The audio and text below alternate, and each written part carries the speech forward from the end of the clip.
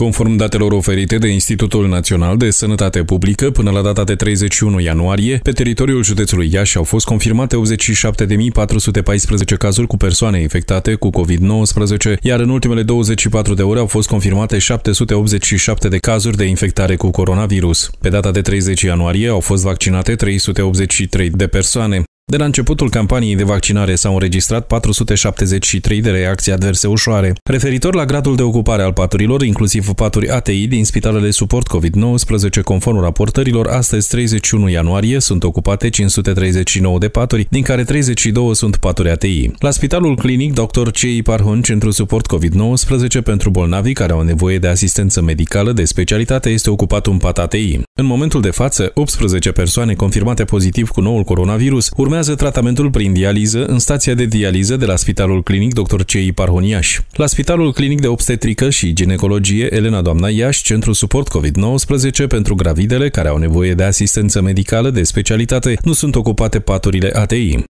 În ceea ce privește zona medicală, menționăm că sunt ocupate 9 paturi. În zona ATI COVID de la Spitalul Clinic de Urgență pentru Copii Sfânta Maria Iași sunt ocupate 6 paturi ATI. În ceea ce privește zona medicală COVID de la Spitalul Clinic de Urgență pentru Copii Sfânta Maria Iași sunt ocupate 36 de paturi. Conform datelor centralizate la nivelul Direcției de Sănătate Publică Iași, astăzi 31 ianuarie, un număr de 5425 de persoane se află în izolare, iar 2633 de persoane sunt carantinate la domiciliu domiciliu. Până în prezent, Direcția de Sănătate Publică Iași a emis în total 84.222